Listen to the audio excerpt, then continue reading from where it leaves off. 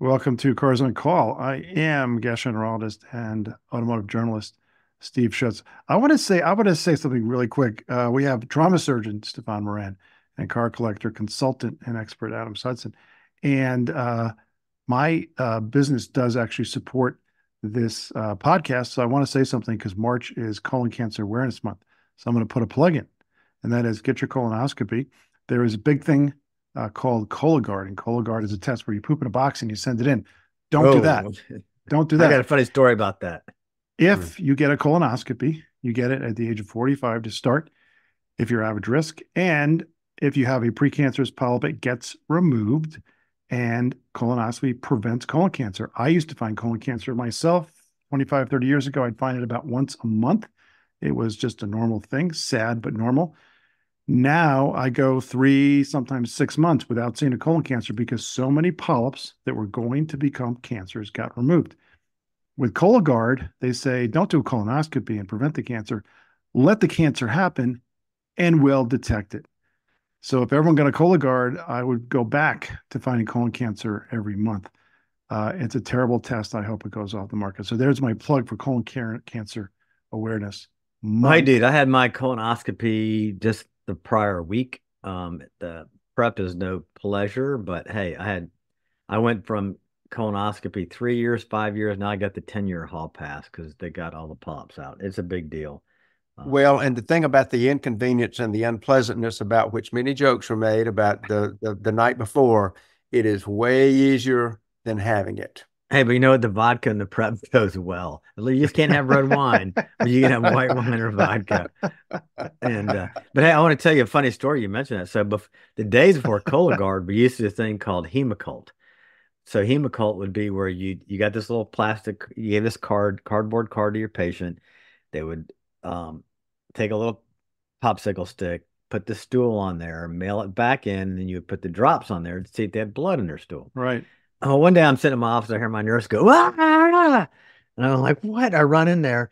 Well, the patient didn't read the directions. The patient wiped their butt with the cards, folded it up, and put it in the envelope and mailed it. Oh. stool everywhere. I'm like, oh my god, that was at Whiteman Air Force Base. Oh my! I'm, I mean, John, I can hear Joe to this day screaming. But yeah, the, the patient did not. You know, obviously, as a male, because male are not going to follow directions or read them. I mean, otherwise Moses would. Well, they scan. The desert. Yeah, yeah. We scan. Just scan the directions. I mean, Moses wouldn't have wandered the desert for forty years if he just was stopped and asked a woman or asked for directions. Stopped at a Chevron station. yes. Hey man, yeah, get me out of here. Oh, before we you don't get openers like this anywhere but Cars on Call. No, before we get struck by lightning for Stephan's sacrilege, uh, let me just say that uh, it is Easter season and for Jeep people, that is a big deal. So Stephan's going to talk about why there's a huge, huge Jeep jamboree in a certain location. I'll still let Stephan get into it. He's going to do, of course, trauma surgeon safety. We are the only podcast or YouTube show that has an actual trauma surgeon talking about his experience operating on car crash victims, but also has done research on car crashes. So uh, his safety segment is a highlight. And then we've got Adams. Adams, you have a really cool muscle car that you spotted. We're going to talk about that. And um, the three of us have been talking, and we decided we're each going to have a chance periodically to have a rant. And it can be whatever the hell we want. And I'm I'm doing the first rant today. Uh, we're we're we're we're three old guys with gray hair. We're expected to rant. Yeah, we're yeah, expected is, to be curmudgeons. It's the automotive equivalent of get off my lawn. Yeah. so we're doing that. And I, I got a rant today. I'm, I'm pissed off about it. I really am. I can tell you're a little fired up. I see. Well, I, yeah, I'm glad we I'm glad we make this a regular segment because I have gone off on multiple rants on this. I we mean, have. You have. We have. It's been. Well, you were doing it before we had a name for it, Steph. Yes. now we have a name for it. right, an actual place. Um, and then finally, we have done a thing where we say, hey, we are CEO of the company. And as CEO of a company, you can make your own car. You can have your company make you something special. It has to be currently for sale. In other words, you can take an engine that's currently for sale and stick it in a different vehicle, different transmission, that kind of thing. But you can make something special, have your team do it for you. And we're going to do that with Jeep because, again, this is a Jeep month. uh, or Jeep season with uh, with Easter. So without further ado, Stephan, you want to talk about Jeep and and the and the Jamboree? Go to it. Yeah, once a year. Uh, formerly, I, I had a 1979 Jeep CJ7. Had it uh, all through college. Um, actually flipped and rolled it, but we all survived. Thank goodness. Um, it was a great vehicle at the time. Probably. Yeah, we had a roll bar that we hit so hard upside down. The roll bar actually blew out the rear tires. But I came around. I was uh, driving on a country road coming back from the lake, and hit some gravel and mud where they'd been logging. And that short wheelbase, narrow wheelbase, um, it it went out. But anyway, the Jeep does this big jamboree in Moab, and every year at Easter, and Jeep always brings out some super cool concept Jeeps that they know are going to do nothing but increase sales, increase desire. I mean, the Jeep culture is huge it, it really is an amazing thing to see how people love to customize these, take them off road. And our good friend Andrew Clark sent me some pictures. Actually, you guys too. Um, he had his Rubicon out there in the mud, four wheeling. He has done some tremendous things. We'll have him back on the show one time to talk about what he's done in that Jeep. And I think he's the only guy out there that has more has spent more on aftermarket parts and conversion than he did on the actual vehicle. But, wow. but that's just Andrew. I mean, he's our hero. He a total hero, man. I mean, I, call, I I spoke to him today. He, what a great guy. But anyway, so they brought out four new concepts. Let me do my share screen thing and pull them so up. So the idea is that Jeep corporate is bringing red meat for the fans. Basically, they bring these, absolutely these cool things, and it's to get people who are already Jeep people more excited even and as more, you're going into this yes. step, and I hate to like like slide this in, no. but you know, we we talked several episodes ago about uh, just the whole marketing concept, and the first of the marketing concept is not product, but it's market. Who yeah, are the people? You're selling care? an idea, and they're selling an emotion. Out. This is yes. the market. This is the market. They're selling a lifestyle, an emotion. It's kind of, you know, Apple really nailed this. Other companies have as well, but they're selling this whole lifestyle, this concept. And most of these Jeeps will never see this, but it's just way too cool. So this first one I pulled up a picture is called the Jeep Lowdown 392, an homage to an earlier Jeep. This thing is 42 inches of BF Goodrich crawler rubber. I mean, I thought Mickey Thompson's at 37 were gigantic tires, but 20 inch wheels. It's got the beadlocks on there. And beadlocks, I asked Andrew about beadlocks. I didn't really know what that meant. But what the beadlock tire is, the actual rubber part is attached to the rim so you can drop the pressure down to 10 to 15 psi and the the rims will still turn the rubber. If you have a regular tire and do that, the the tire will just slip off the rim and come off the rim. So this mm. has got this big old beadlocks. And what's crazy is this they put this massive tires on this Jeep Wrangler, but this, it's the standard suspension on the Rubicon. So they're taking the limits of what they already have to show people what you could actually do. Very cool. I think it's just, of course, badass Jeep looking Wrangler. Um, the next one, which I really find cool, the paint color is not my total color, but this is this is kind of a this is the four door. Um, they call this the Jeep Willys Dispatcher. So it homage to the old Willys Jeep. It's got some steelies. It's got narrower tires. It does have a leather interior. I'm not. It's kind of this like dark lime green paint monotone. I know Steve probably thinks this is the greatest color ever. Steve likes all the peat green colors. I really like it also. Before Steve even speaks up about it, I mean, when he first showed it, I think it fits the character of the vehicle. I wouldn't want it on anything much bigger, but yeah, I mean, I like it. And the beige steelies, it looks, it's got beige steely rims.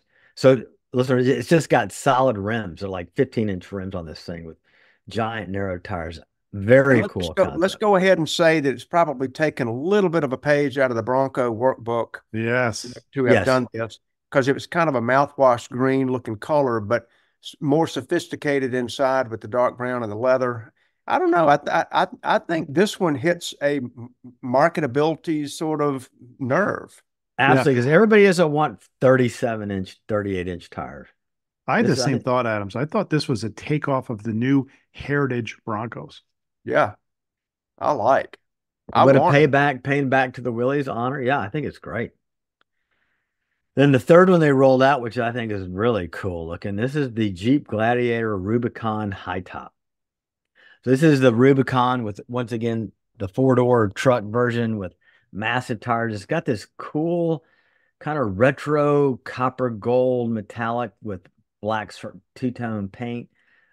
Very cool looking. I you know, it's sort of got elements of the old, I guess they call it the scrambler, but the truck yes. like the, yeah. the Honcho, but I love the scrambler paint scheme. With the big flat fender flares on it. Yeah, very yeah. cool. Yeah. And then the final concept, which I thought was re- actually I do like a lot, is the Jeep Vacationeer. Um, so they took the Grand Wagon, the the um, what's it called, the Grand Wagoneer. Yeah. Yep. The new Grand Wagon, which I don't like because of that C pillar, which drives me insane. C pillar is the very last one in the corner. They got this notched window in the back. I'm like, if that would be squared off, I'd be fine with it. But I don't know what that notch is supposed to mean or do, but I think it just looks stupid. And though I rode in this, we um when I went skiing back in February, we rented one of these. Very nice on the interior, very nice ride. I was really impressed. But this is their the Grand Wagoneer. They throw the tent on the back, and it's got some cool, very cool LED light driving lights on the front. It's got like four quad sets of LEDs on the front with a tow bar. I mean a, a tow hook um, that goes to a winch big tires, white roof as well, Stephan. Yes, I mean, and it's got yes. So, so this is listeners. This is a uh, more of a maybe like a metallic lighter green with a white rooftop, kind of like the old Broncos, the old National Harvesters. Once again, throwback features, but I think they they totally work and make this. This is a good looking Grand Wagoneer to me. And un- unlike the Porsche Dakar, I bet that tent option is not seven thousand dollars. This is my, I think my favorite concept. I would make this blue instead of green, but I like yeah. the tent on the on the top. And let's face it, both the Gladiator and the Grand Wagoneer and the Wagoneer are not selling well at all. The the Wagoneer and Grand Wagoneer have really struggled. The reason you rented one is they're dumping them into the rental fleets. You'll see a lot of them around. When I see one on the road, it's almost always a rental car. This is not selling well. If they made it more interesting looking like this, they would sell better. I the one we rented right. was the top of the line one, Steve-O. It was totally maxed out. It wasn't entry level Wagoneer. Yeah, because customers aren't buying them. Yeah, exactly. Yep. Yeah, I know, think I, I, I, I, would foretell that we're going to be talking a little bit about what could sell in our, you know, player the CEO for a day segment. But you know, I mean, I look at this too, and I think that that people would buy this. You know, the the, the green is a little crazy, but I'm just talking about the option package, the look, the stance, the whole bit. And I'm going to be a detractor because I, Stephan, if you're talking about the ABC and or D pillar, that little Hofmeister looking kink, I think yeah. that looks a little bit international scout ish, and I like it. You know, everybody's got a different opinion, but I kind of like that. Yeah, I like it too. I, you know, this is something they need to do something to goose sales. They can't just keep dumping these Grand Wagoneers into the rental fleet. Uh, what's a loaded Grand Wagoneer, which supposedly when they first launched them, that was supposed to be a hundred thousand dollar vehicle. What's that doing in a rental fleet? It really shouldn't be there. And I think the only reason it's there is because people aren't buying it. But let me ask this question of Adams. Adams, I have been surprised. My sister, who's used to be in advertising, told me this, and you've talked about this, but talk about it a little bit more a lot of advertising, hello Rolex, is advertising to people who already own your product. That's what this is. Yep. Um, it, it, if you appeal to the fan base, or what what before we used to call them influencers, uh, you would just talk about people who at a cocktail party, if asked a question, what kind of watch would you buy? What kind of car would you buy? Those are the people who are highly influential. And there used to be an old uh, ratio. I don't know if it's still correct that somewhere between three and a half and five to one, the credibility of a person speaking to another person, that the credibility was many times higher than the equivalent amount of advertising dollar. So if you're going to spend half a million dollars on advertising, you can get three to five million dollars out of somebody saying, I love the product and here's why. And they believe it. It's all about the fan base. Yeah, I just find that I find it fascinating. I mean, you know, Porsche advertises their 911 and you can't buy one. You have to you have to wait, get online to buy them. You can't just buy one or get in line to buy one, I should say. Rolex advertises all the time. You can't just go to a store and buy a Rolex. They're back they're back ordered. And it's uh, to me, it's interesting. And uh, you know, Jeep, you can buy a Jeep, but it's again, you're fanning the flames of of fandom. Yep. Yep. All right. Well, trauma surgeon safety. All right, let's move on to safety here. Um, so I want to talk about two things have happened. Um, in the past episodes, I've talked about Tesla and autopilot, and talked about how we are implementing these automatic driving systems in this country, and it's really kind of like beta software. Um, they're just companies are throwing on the road and see how it works. But in mid March, the National Transportation Safety Board announced that they're investigating Ford for a Mach-E that was involved in a fatal crash in San Antonio. So what happened was the Mach-E was driving down the road. The person had it on the full auto, and it ran into a stationary Honda CRV on the interstate. This is not an uncommon crash in these automated driving systems. There's been multiple Teslas. You read about this struck an ambulance, struck a fire truck that was parked. And in the case in San Antonio, the driver was killed. And one of the requirements from the National Transportation Safety Board is all crashes or fatalities involving an automated driving system, whether partial or full, has to be reported for examination. They have to report all these fatalities on advanced driver assistance systems. And the NTSB comment was they're investigating this crash, quote, due to its continued interest in advanced driver assistance systems and how vehicle operators interact with these technologies. Let's kind of put things a little bit back into perspective. So, anytime you have a vehicle that has ADAS, which is just short for automated driver assistance systems, we just call it ADAS. A crash with ADAS, a crash with Waymo, a crash with Tesla, it makes the national news. And um, it's like an electric car catching on fire, though way more gas cars ever catch fire than electric cars. But it it it makes the news. It's something to talk about. But let's think about it. The last data I could find came from 2016 to 18. There were 566 people that were killed and 14,000 injured by striking a stationary vehicle. So we're really talking about here is four to six automated driving vehicles striking a parked vehicle. And the data we talked about on the previous show that from Waymo and their automated driving vehicles, that they actually you you know they drive better than a human do in the right circumstances, the right situations. Um, they do better than we do as humans. I mean, humans are prone to distraction. I've talked about on this show, but we're not totally yet there on the software. And unfortunately, when there is something that goes wrong, we all jump up and want to, um, you know, wave our arms and say, "This is awful. We shouldn't be doing this." But think about it: if you had a if you had a medication that 566 people died um, when they took it, and you had a medication that six people died when they took it, which one did you take that had the lower side effects? I mean, it's pretty much not. Um, we're going to get there, but the question is, how do we get there? Well, um, you know, I talk all the time about the Insurance Institute for Highway Safety, and they're the ones that do all these car ratings. They really are based by insurance companies looking at lowering their rates, lowering their costs by decreasing the carnage on the highways. Well, they introduced a new rating program to encourage automakers to incorporate more robust safeguards into their personal driving automation systems. But the thing I want you to understand is their rating is very driver centric. So what I mean by that is they're looking at how does the system evaluate the attention of the driver. Okay. So if there's if your system does not constantly annoy the driver, hey, put your hands on the wheel. Hey, look at the road. Hey, put your seatbelt on. Hey, you're going too fast. If your automated driving system doesn't do any of that, you're not going to do well with insurance for highway um, safeties ratings. So, Stephan, and, you're saying DM, what they call DMS. So they've got AD, ADAS, which is automated driver assistance systems. Then you have DMS, which is driver monitoring systems, and then you have to have you have to have both, right? Right. So yeah, exactly, Steve. So what the IIHS wants to do is they want the DMS to be fully 100% incorporated into the ADAS.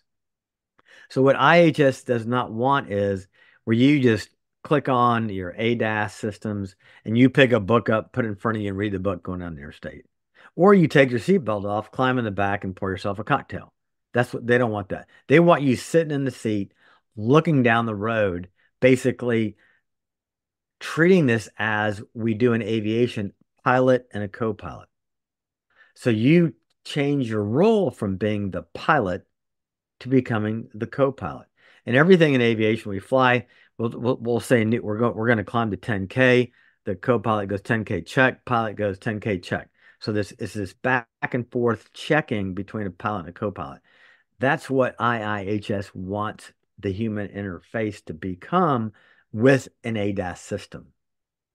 So they their quote is most of them don't include adequate measures to prevent misuse and keep drivers from losing focus on what's happening on the road. Well, I keep saying we're not there yet, but we're going to get there where I would rather honestly with the way most Americans drive, look at our statistics on alcohol, our statistics on um, distracted driving, ADAS will do better than the average American driver, but we're still in the early software issues. Um, so let me, I want to pull up a slide here that kind of shows. You know, Steph, as, you pull, as you're pulling that up and just a little bit of filler here, and yeah. the, the, the pilot co-pilot scenario is a great one because you actually have another human being overlooking yes. and hey, did you check your gauges? Are You're looking at what you're doing here. Where this is really almost like a uh, pilot turning over the controls to autopilot and yes. then they become so uninvolved and that's where it almost seems less safe to me but you're probably about to prove that with statistics right well we're going to talk a little bit more about that. so here is should be pulled up here their slide this is from the insurance insurance institute for highway safety.org talking about the partial automation uh, automation safeguard ratings so their requirements when they rate the system so you got to understand how they're rating the system to determine if you like the result. So it's important. So number one, monitors both the hand both the driver's gaze and hand position. So this is where the system is monitoring you. Uses multiple types of rapidly escalating alerts to get drivers' attention.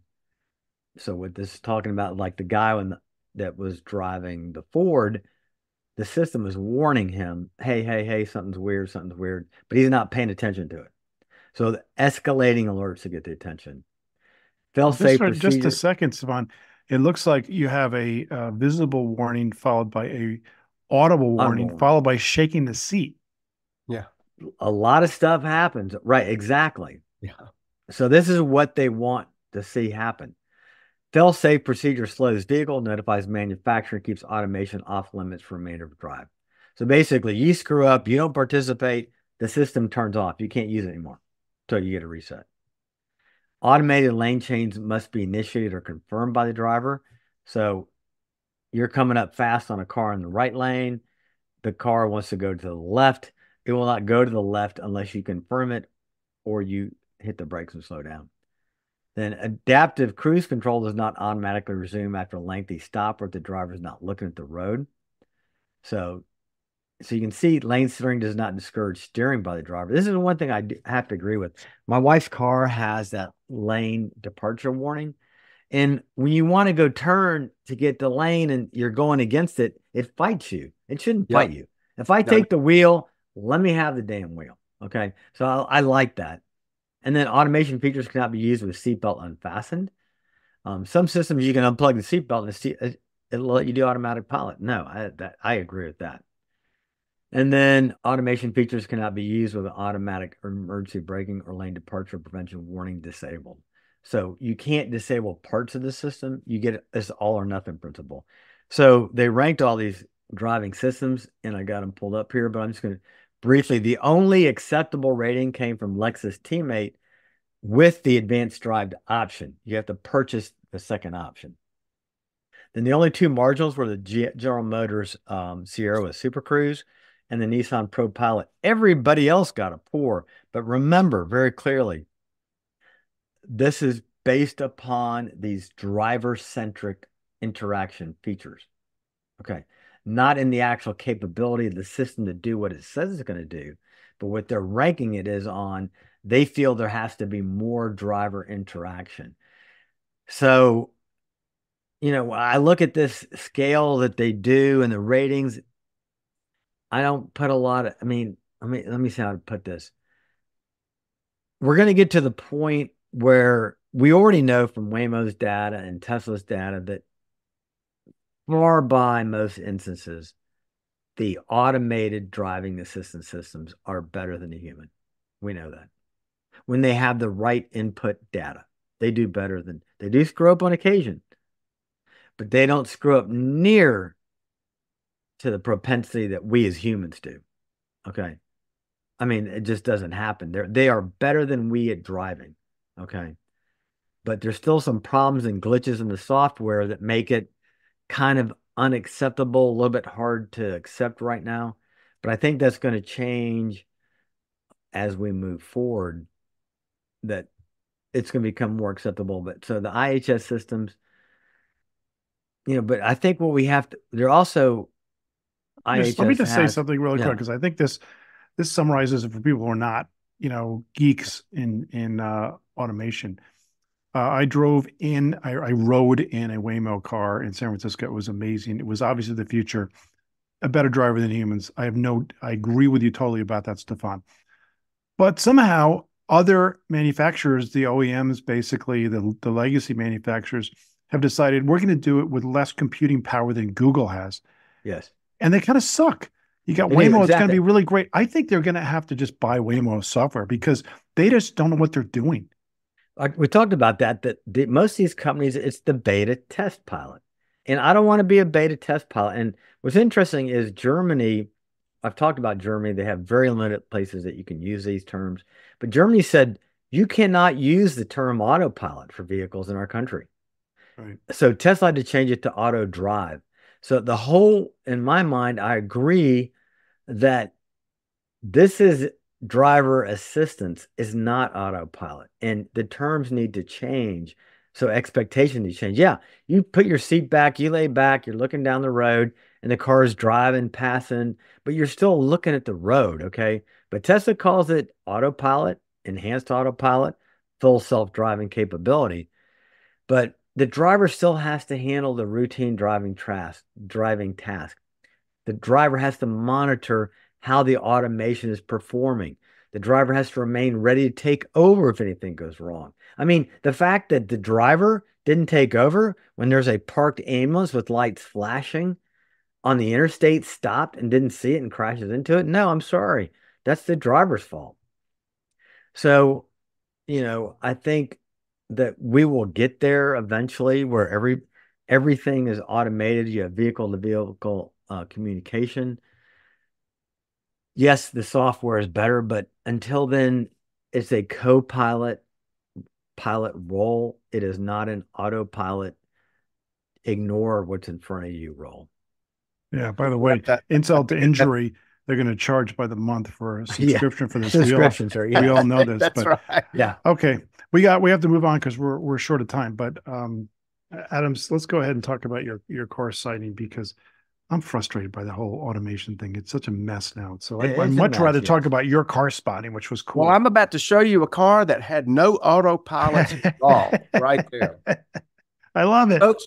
Folks, what we're looking at here is a car that you had to pay attention when you were driving, because in 1964, and this I believe is a 65 model, uh, Pontiac unleashed upon the unsuspecting public, and it really was kind of serious and secretive if you want to read the whole story something called a GTO. And it was basically uh, our hero of this story would be none other than John Z. DeLorean, who we have a photo of his dashing self.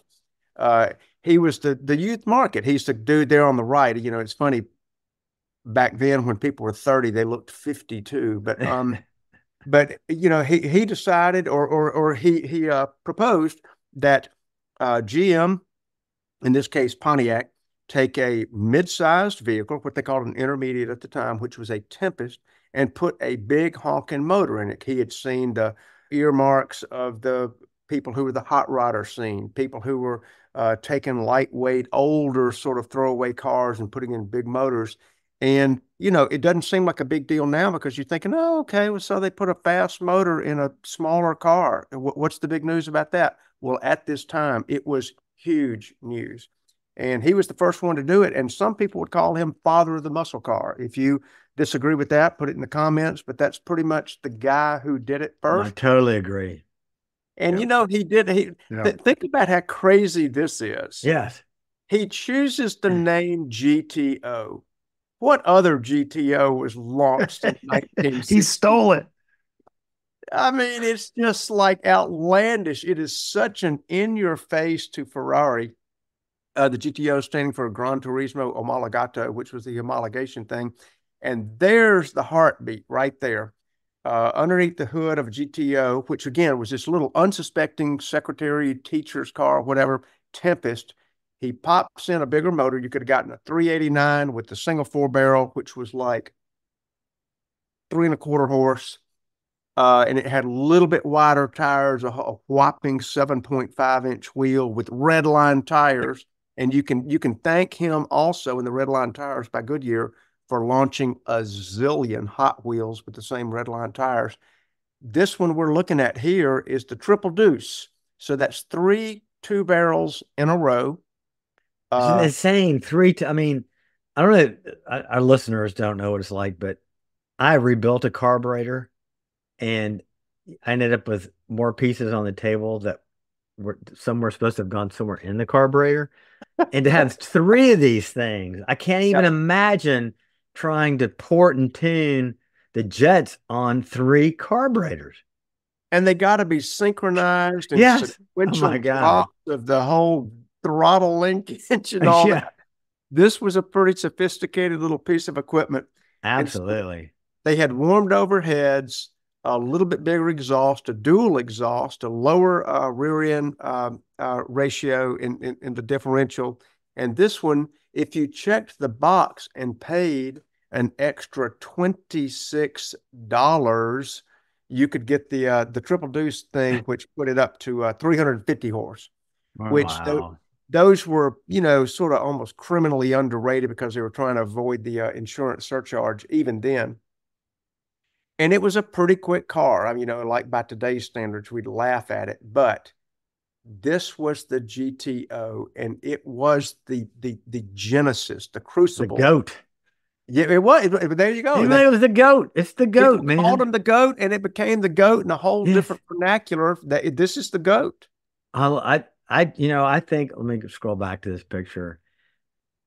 For that era vehicle, um, so listeners, I got I got the two door GTO pulled up here. I mean, you probably most people think it's a little bit dated, but it was so badass in its time that to me, I still think when I see a GTO, it's like, oh yeah, oh yeah. It's just because I have memories of that. I don't know how my kids would react to seeing this car, but I think it's just got a certain je ne sais pas quoi about it with that little head scoop and the GTO. I knew some from- French was coming in there. I Steve, love it. Uh, I see that love one it. coming? I knew what something was coming. I think this is a situation where uh, they had the right thing. They, they nailed the zeitgeist. And what, what John Z. DeLorean knew was that if you took a car that was supposed to be plain Jane for quote unquote secretaries and, and teachers, and you put a fast engine in plus a manual transmission, and it actually performed, and you made it understated, young people would be totally psyched. Absolutely psyched.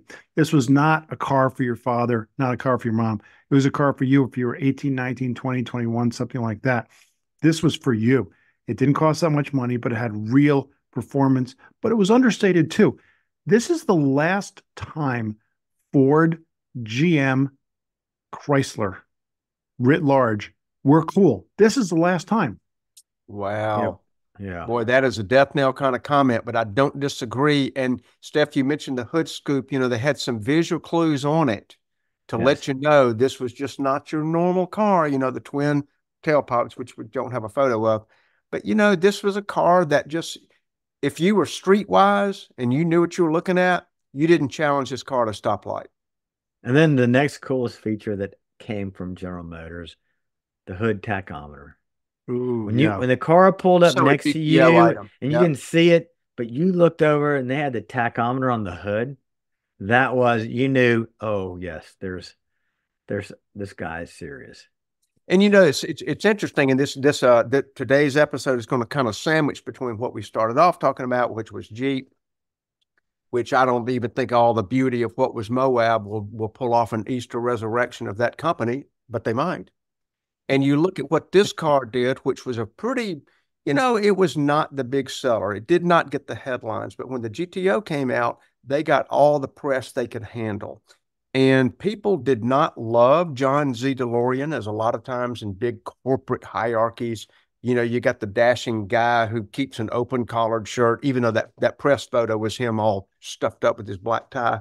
He was sort of a playboy esque type guy, and he had an ego, like people who get stuff done sometimes have an ego. They said if you don't sell 5,000 of these, and that's all they allocated for him because it was an option package on the on the uh, Le Mans or the Tempest, same body. And they said if you don't sell 5,000 of these, uh, you probably want to be looking for another job and he put it on the line as he did in his future as well. They sold in the first year over six times that number. They sold 32,450 mm. units wow. the first year. And This that was, was- this so then was it the- became its own line. This was the kickoff of the game. This ga- this the 64 GTO kicked off the muscle car era. Went from 1964 to 1972. Hemi Cudas, Boss Mustangs, Mach 1 Mustangs, and then 442 Oldsmobiles, all these other cars. This was a wave. I can't believe it was only eight years. Insurance cost Right. killed the muscle car era. Yeah, OPEC didn't help, but um, th- those Really? those two almost conspired to pretty much Yes. put, put do the death knell. But Steve, you're right. This was the car that all those others owe a little tip of the hat to. Absolutely. Yeah. And every time I see one, I, I know the history and I see early GTO and I'm like, yeah. I just see, I just go like, yeah, dude, that's it. That's that's the car. That's the one that started it all. Everybody bow and pay a little homage to the Yeah. GTO because it's the one that started this whole thing. And th- to this day in America, we're all about what you got under the hood. This car started. well, You could go back and say maybe the Chrysler 300 about what's under the hood, but this car really put it on the map and brought it to people's vision. But the Chrysler 300, I was there's a lot to be owed to that car as well about what's under the hood. But- Yeah. This was, uh, by the way, amazingly, 60 years ago. Oh No, my gosh. is that real? Wow. Wow. Well, you know, Well- it's enough to make you almost mad at GM for certain things. What do you think about that, Steve? I, I they blew it after this. They they had they had the world. This is back when they had sixty percent market share in the United States. One company, they were essentially they were close to a monopoly, and and uh, and they bit by bit, piece by piece, lousy car by lousy car, they blew it.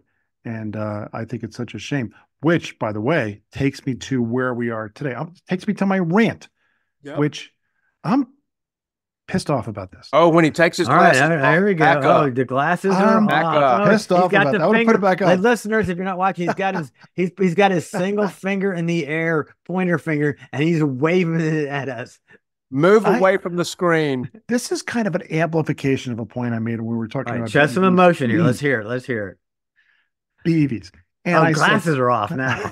the BEV is you've got two, you got a family and you've got parents and you have two kids. And the kids are adults, young adults. One kid went to Princeton and he got great grades and he's super, super smart. But he can't quite get a job yet. And he's working at Starbucks. And the parents say, This kid's a genius. He's going to take over the world. He's going to rule the world. But Daniel right Bank now, Friedman. Right. Yeah. Well, not that bad. He's not in jail, but he's working at Starbucks. Okay. Meanwhile, the other brother, the older brother, he runs a company. He does deep sea fishing. He goes out twice a year on his big boat and he brings in tons and tons of fish and he makes $500,000 a year. He never went to college. And they're kind of like, they don't like talking about him. That's what GM is. And I'm talking about the GM big SUVs, Escalade, Tahoe, Yukon. These are the breadwinners of GM. And GM is embarrassed of them. And it makes me angry. Listen, I know there's a future. I know you've got to look to the future. I know you have to move forward. I get it. But listen, you, you, you on the one hand, you can't rest on your success. On the other hand, you don't walk away from it. And on the other hand, you should not be embarrassed of your success. All right, there's a picture of an Escalade. If you look at the Escalade, Tahoe, Suburban, Yukon, Yukon XL, they are responsible for over 300,000 units a year for GM. Guess what? They make at minimum $10,000 profit for GM. That's $3 billion a year for a vehicle they don't advertise, they don't talk about. They're embarrassed of this. Wait a minute. T- did you, you mean 10 grand, not per unit? Per car. Oh my God. See why I'm pissed off? That's incredible. They make $10,000 profit at least. The oh Escalade oh, makes more than that. And by the way, GM does not tell you this. This is from Automotive News and other publications. They probably make more than $10,000 per profit per vehicle times 300,000. It's 3 billion a year and they're embarrassed of it. It pisses me off. You have moms. And again, moms all over the country, it doesn't matter what your income level. If you're rich and you can afford a Range Rover, you know what you get? A GMC Denali or GMC Denali XL. If you're a little bit less, less rich, I think this is interesting the richest customers of these vehicles buy a GMC Denali. A little bit less, they get an Escalade. Escalade, this is again Range Rover territory. Interesting that those two kind of swap places. I see why. If you are like a yeah. teacher slash police officer, firefighter, you know, person who works at the grocery store, you're going to have a, a Tahoe. And if you are someone who is a substitute teacher and you don't make that much money, you're going to have a 10 year old Tahoe. These vehicles are popular. Guess what else? Small businesses, uh, real estate agents have these. Uh, small business owners have these. A lot of them, they, they get a tax write off, but they have them. They're police vehicles, they're government vehicles. They are all over the place. These vehicles make people happy. They make the world go round. And GM is embarrassed of them and won't talk about them. And it fucking pisses me off. They need. Well, they want to talk about their Chevy BEV that yes. Blazer that they couldn't yep. get the market. They had to put stop sale on it. They're more proud of the Hummer BEV, the the Antichrist. You know, once again, yes. All right, Mary so there's my away. there's my fucking rant. Okay, I think it's a good rant, and you've got me fired up. I'm about to break something. But Steve, Steve, but, but honestly, like if you're GM and you're listening, which you should be, but if you're GM and you're listening, then what does a person do like at GM? Are you saying that they should embrace and then let let the these money making bread and butter SUVs that are floating the company, like you're yes. saying, the one that's bringing in the, the in the bacon, do they then uh, embrace it as a brand and say we're the SUV type company? What what, what would you suggest? What is I message? say? I say advertise them, update them, upgrade them, modernize them. So, yeah. how about this? Go yeah. to a hybrid, go to a plug in hybrid, make them more green, but don't say we're ditching the whole thing and we're going all 100% electric. The. There's no plug in hybrid Escalade that's been talked about by GM. It only is complete 100% BEV.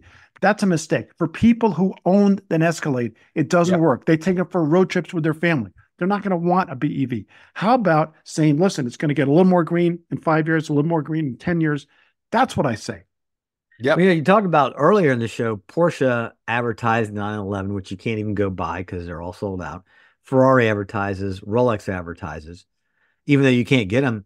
GM needs to be advertising these vehicles because somebody may come in wanting a Yukon they can't afford it. They get the lower down the next vehicle, the Traverse, yes. the Blazer. So you average, yeah, exactly. And you know, and I'll have to admit here, dude, it's a little bit of a freaking unicorn. But who do you see right here? Look at this picture, listener. Look at this picture, dude. This is me sitting in a GMC Yukon AT4.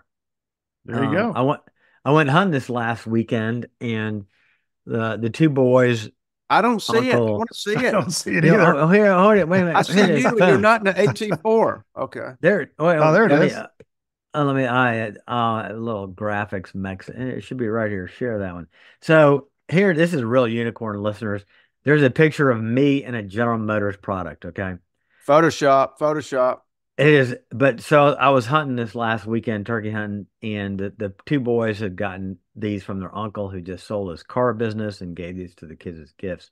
They're like, the boys are like almost 30. But this GMC Yukon AT4 with the big 6.2 V8, the suspension goes up and down off road. This thing was gorgeous. I could clearly see why this appeals to their class of individual young single guys. It appeal to me. It's got the three flip down seats. This needs to be all over the advertisements because this draws you in. It's a crown jewel, and then people buy the lesser stuff, kind of like that racing, racing on Sunday, sells on Monday. These things bring people to dealerships, and this is a General Motors product that I could I could clearly own. I'd like to compare it to an Expedition, but I think this is a better size than the Expedition or the Explorer. Very impressive vehicle. So I know you know as you're you're talking about it, and Steve, I swear I'm like pitching in on your rant here because you make a great point that I'd not really considered before. If maybe I can afford a, I'm not saying me, but if I'm looking at a Range Rover, maybe I'm looking at a, a, a BMW SUV, a big seven I may not want to send that statement to my neighbors, my customers, my friends, my church group. And yes, this is one that I know is going to be reliable. I, I, mean, I believe in GMC and Chevrolet as you know all the GM products as being reliable, and I kind of don't have that belief of a Range Rover. I don't care how cool it looks. Yep. Well, it's like pulling up in an F one fifty Platinum that's a hundred and ten thousand dollar truck. People, oh, he just got a Ford. Oh, he just got a GMC. But no, you pull up in the Range Rover, the Bentayga, yeah, yeah. whatever. It's people start looking at you very differently. But I mean that that's that vehicle stickered out at about ninety eight thousand dollars, which is a shit ton of money. but I mean it, but it, it was super super sophisticated. It goes up and down and has all the different modes. I mean, super impressive piece of kitsch from yeah. General Motors that they don't talk about. Yeah, they're embarrassed of it, and that, yes. that's my rant. So, I got all you. right. So we all agree, and uh, we're, we're our last segment because we are getting short of time. Is you are CEO of uh, Stellantis, and you're in charge of Jeep, and you can make any Jeep you want. We had a lot of fun with Ford. I remember we had a great time with Ford yeah. and BMW. So I'm going to do the same thing with Jeep, uh, since it is Easter and the whole Moab thing. And uh, uh, let me start because I think you guys will probably have something more interesting than mine. The Wagoneer and the Grand this Wagoneer. This is how he tricks us, Stephan. I know, right? Yeah. no, this yes. is this, this is so, like a pre-trumping of the other choices. Yes. yes. I I don't really like Jeeps, so I didn't really yeah. get too excited about this. I'm, I'm um, with you there. So the Grand Wagoneer and the Wagoneer, these are vehicles they should have made 10 years ago. All they yeah. are is the Dodge Ram pickup platform with an SUV on top of it. By the way, the GM, the Escalade is just a Chevy truck with a fancier body, and the Expedition is an F-150 with a it's, it's an SUV. So that's all this is is a Dodge Ram pickup. But I picked the Grand Wagoneer, but I made it off-road. So if you scroll down a little bit, uh, there it is. So Ooh. tough tires, yeah. tough wheels, uh, the kind of wheels that don't that don't fall off when you're off road that uh, Andrew Clark was Bead talking. About. I want that. I do want to. I want to get it black like this, like a, a frozen type of black, and uh, I want it to look just like this, but a little bit nasty. A little bit nasty. Bit nasty. It will have because I'm CEO of Stellantis. It's going to have the very last Hellcat ever made.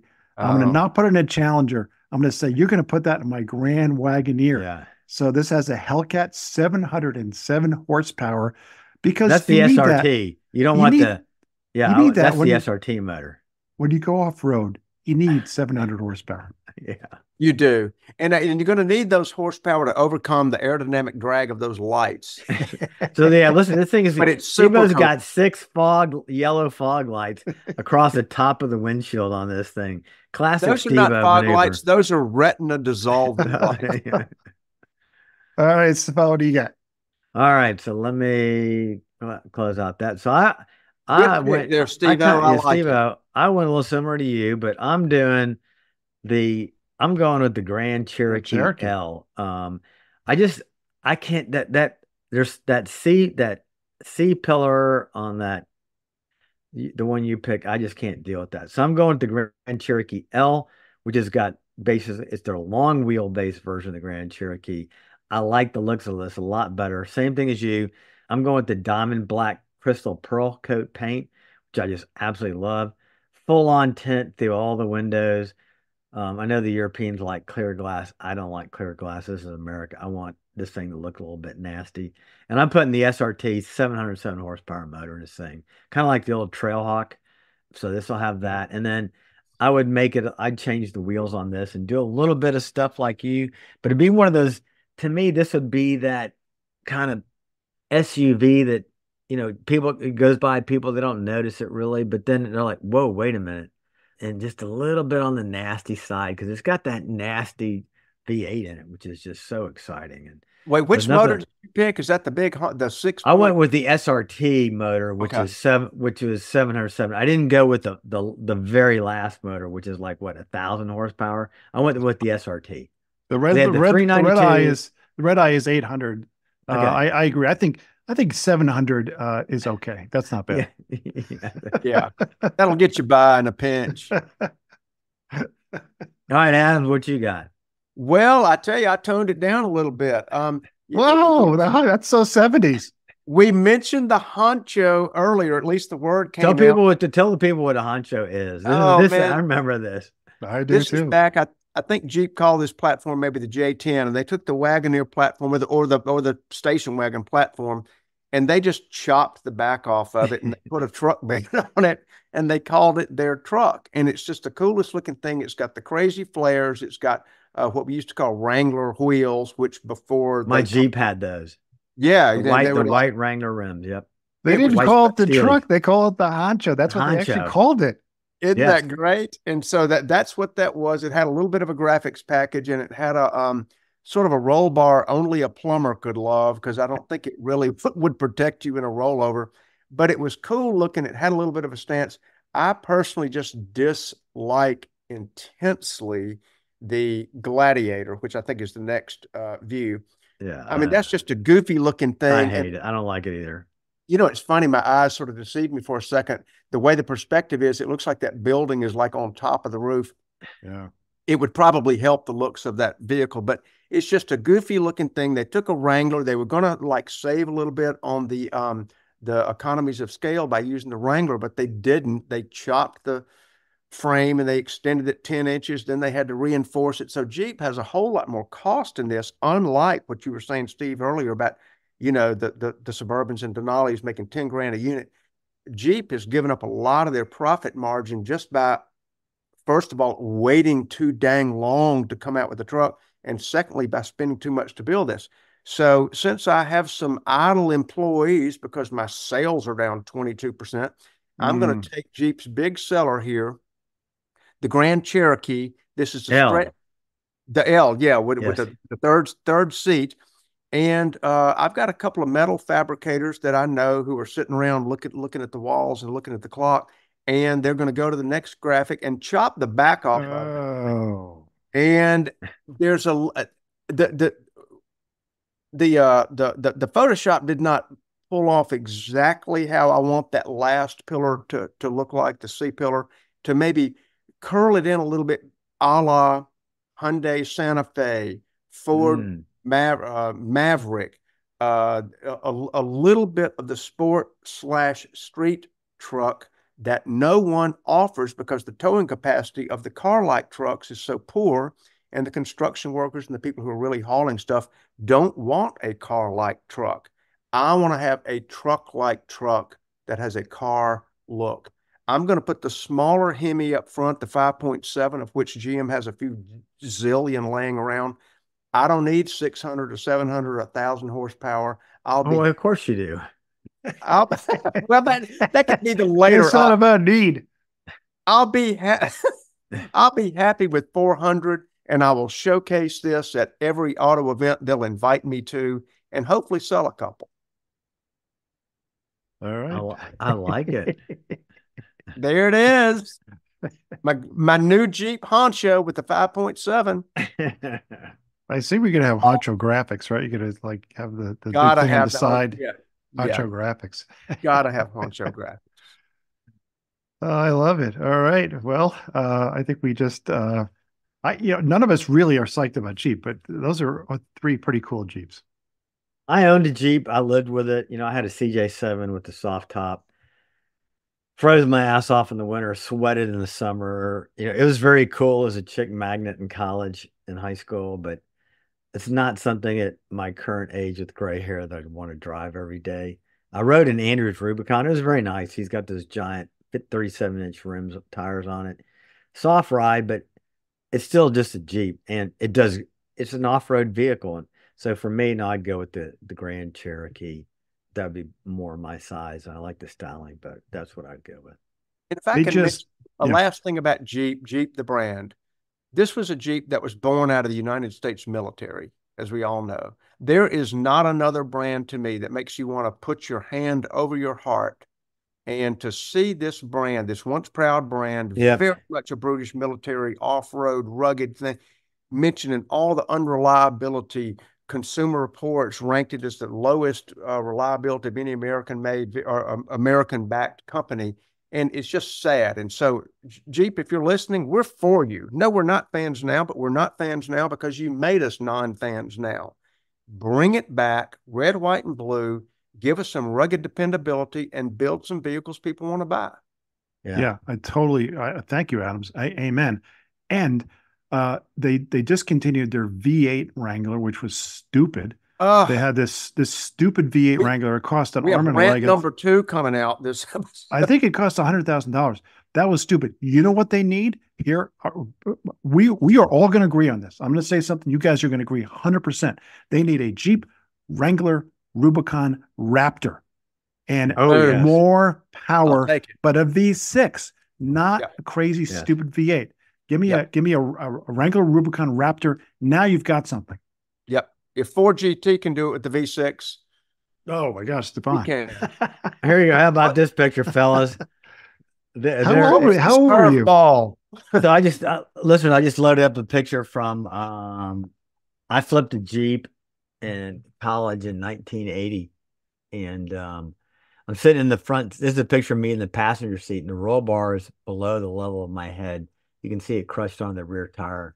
Um, it blew out the other side, and the front windshield crushed when we rolled it. But this is before the Wrangler, where they had so many rollovers in these Jeep. They widened the wheelbase because it was so easy to get this thing up on two wheels. But they're those white steelies that I love so much.